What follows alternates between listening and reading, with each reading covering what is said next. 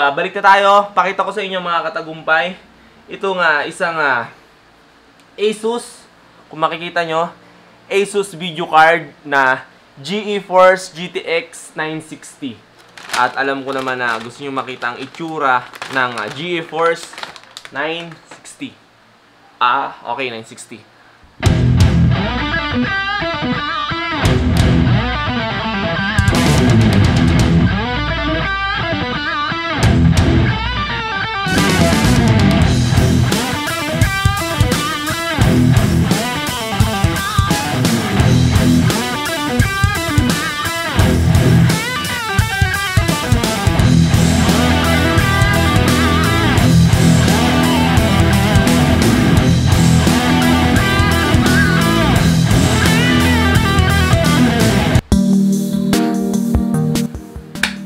Kamusta mga katagumpay? Um, so, yun yung intro ko dahil doon tayo magfo-focus. Siguro, alam ko, nakikita nyo na naman sa likod ko yung video card at yung PSU na pinakita ko doon sa intro. Mga katagumpay, hindi ito yung normal nyo nakikita na unboxing ng mga brand new na malulupit na mga game pang gaming na PC setup. Dahil today, mga katagumpay, gusto ko lang linawin sa inyo dahil marami nag-PPM sa akin kung bakit wala daw akong uh, uploads nitong mga nakaraang araw. Um, sa mga hindi nakakaalam, mga katagumpay, nasira kasi yung laptop na ginagamit natin, which is, hiram ko lang din sa kaibigan ko at kay Sir Martin Severino. Tol, sorry, hindi ko alam kung paano ko mapapalitan or kung paano ko mapaparepair yung laptop na pinahiram mo sa akin. Pero, babawi ako, hindi ko alam kung uh, tatanungin ko kung saan shop na pwedeng magpa-repair nun. So, balik tayo sa usapin uh, hindi ako nakapag-upload dahil nga nasira yung laptop ko. So, lately, nag-post ako mga katagumpay na nag-sorry ako, nag-public apology ako na hindi ako makakapag-upload ng uh, videos natin dahil uh, wala nga tayong pang-edit ng mga video na, iya, na iti-take ko. So, ngayon, mga katagumpay, ay uh, dun sa post ko na humingi ako ng public apology, may mga ilan-ngilan na tao na hindi ko naman kaano-ano o hindi ko naman ganun ka-close na willing um, tumulong sa akin para maituloy yung pangarap ko, pangarap natin mga katagumpay at para magkaroon tayo ng isang simpleng setup ng PC at yun na nga yung nasa likod ko mga katagumpay at alam ko naman na marami sa inyo, marami dyan na maraming alam sa pag-set up ng mga malulupit na gaming PC. At gusto ko habang pinapanood nyo tong YouTube channel ko, itong video na to, ay bigyan nyo rin ako ng idea kung ano ba yung budget meal na pwede nating uh, isalpak dito sa ating uh, mga gagawin at ipapakita ngayon. Papakita ko sa inyo kung ano yung meron ako na pwede nating patsi-patsi or pwedeng eto na dahil wala din naman akong pera, mga katagumpay na ipang uh, bibili ng mga mamahaling tulad ng mga 100,000 na mga ewan ko, yung mga malulupit na hindi ko maintindihan ng mga terminology nila. Pero gusto ko lang magpasalamat mga katagumpay dun sa mga taong nagpaabot uh, ng tulong sa akin. Wala pa man yung iba overseas ay uh, gusto kong uh, magbigay sa inyo ng pasalamat. So balik tayo mga katagumpay. At uh, gusto kong ipakita sa inyo ito nga pinahiram sa akin. I-mention ko na rin na si Sir Jordan Sulyo. Tol, maraming maraming salamat dahil nag-offer ka ng isang pahiram ng gamit na hindi normal na ginagawa ng isang tao dahil sobrang mamahal nitong mga to. Okay? So, uh, balik na tayo. Pakita ko sa inyo mga katagumpay. Ito nga, isang uh, Asus. Kung makikita nyo, Asus video card na GeForce GTX 960. Okay? So, yung gamit ko kasi sa opisina ay uh, 1050. Medyo malupit na rin yon Pero ito ay medyo downgrade sa kanya ng konti. Pero dahil pinahiram niya tayo, mas malupit na to ngayon. Okay? Ito ay uh, video card na Strix. Okay? Pakita ko lang sa inyo yung details mga katagumpay. GeForce GTX 2 gig memory at uh, ano pa ba pwede pakita ko dito? OC edition. Okay, Strix. Syempre, galing siyang Asus at meron siyang 30% cooler silent gaming. Okay? So ibig sabihin, pang gaming na rin to. Hindi siya ganun ka high-end pero dahil pinahiram tayo, para sa akin, ito na ang pinaka high-end ngayon. Okay? Gusto nyo bang makita? Bubuksan natin, mga katagumpay. Madali lang to. Pakita ko sa inyo laman. Okay? Para hindi ko pa rin kasi nakikita laman nito eh. Alright, ayan. Asus, galing siyang Asus. Ayan, mukhang bago pa. Sir Jordan, maraming maraming salamat. Pinahiram mo ako. Okay? Ito yung laman niya. Siyempre, unahin natin yung item mga katagumpay. At alam ko naman na gusto nyo makita ang itsura ng uh, GeForce 960. Ah, okay, 960. Ayan siya mga tolls. Ganito siya kapogi. Okay? Ayan, kung makikita nyo. Ayan siya. Okay. Ito yung pinakaalam ko heatsink niya. Ito yung nakakatulong para yung init doon na nanggagaling sa uh, board nyo ay mailabas niya. Okay? Meron siyang dalawang cooling fan. Ayan. Hindi ko alam kung umiilaw to pero maganda na siya. Tapos, uh, meron din siyang uh, uh, yung port niya, video out. Meron din siyang HDMI. Okay? Hindi ko kasi alam yung tawag dito sa port na kulay white. Hindi siya HDMI eh. Or HDMI din ba to? DVH. Okay? Meron siyang DVH.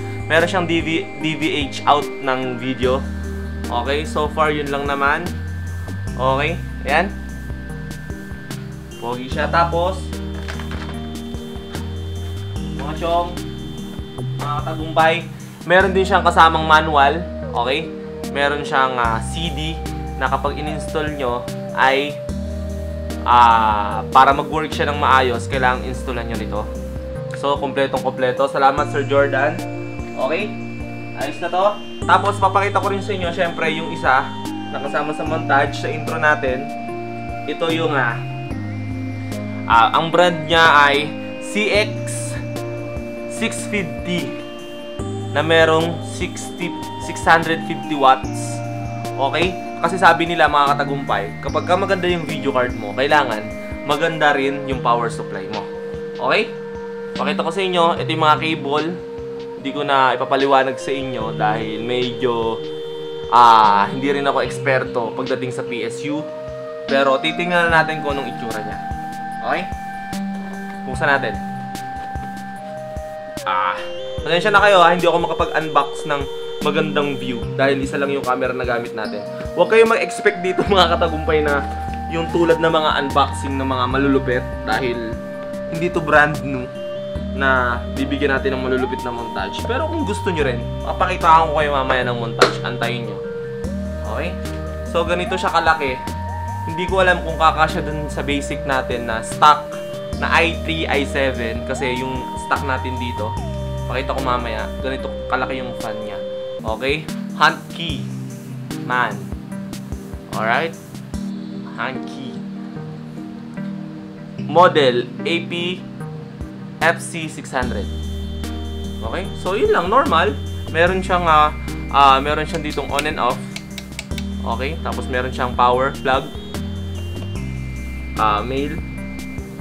Yun lang. Tapos, ito yung mga uh, kailangan mo i-connect sa motherboard. So, baba na natin to. Uh, okay. So, may mga ilan-ilan na alam ko maghahanap sa inyo ng montage dahil mahilig naman talaga ako mag-montage. Sige, bibigyan ko kayo ng montage pero bago ang lahat, intro muna tayo. Okay? Peace.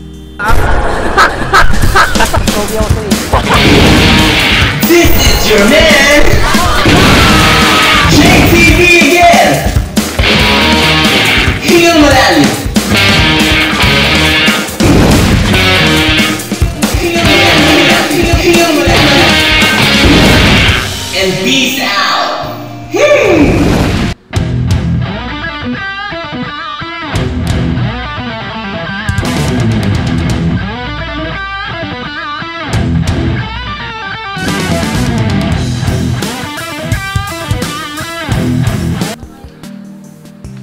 So gusto ko rin palang pasalamatan muna mga katagumpay si Lazada dahil ah meron tayong isang bin- isang keyboard dito, isang mini keyboard na fit na fit doon sa ah, monitor natin dahil maliit lang yung spacing nung ah, ah, ah, table natin.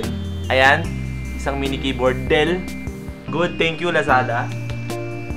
At ayun mga katagumpay, gusto ko lang ah, sabihin sa inyo na meron tayong ah, free 50 pieces stickers.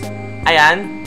Team Katagumpay stickers. Kaya kung katagumpay kita, meron tayong free 50 stickers. Ayan, kung makikita nyo. Quality stickers to mga katagumpay. Ito yung umulan, umaraw, hindi agad masisira. Okay? At ang gumawa nito ay isa sa pinakamagaling na printing shop dito sa Kabuyaw.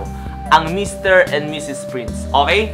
Sir Arnel, maraming maraming salamat sa pag-sponsor mo ng ah, malupit at matinding sticker at sa ating ah, gagawing project sa mga damit pa natin. Sigurado ako na magiging maganda ang tie-up nating dalawa. At sa mga staff mo dyan, okay, kila Simon sir, maraming maraming salamat at dun sa tatlo pa, um, good quality palagi ang ibinibigay nyo sa tao sa affordable price.